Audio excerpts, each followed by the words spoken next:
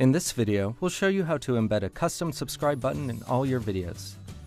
To get started, click your channel icon and then click Creator Studio. Now click Channel, then click Branding. To set up a subscribe link, click on Add a Watermark. Just upload an image and then click Save.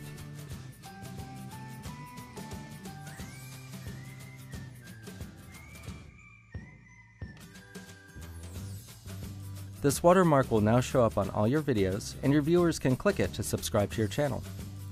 You can select when you want your icon to show up, the beginning of your videos, the end of your videos, or during a custom time. When you've set it up the way you like, click Update. And that's it. Subscribe to our channel for more tips and tricks.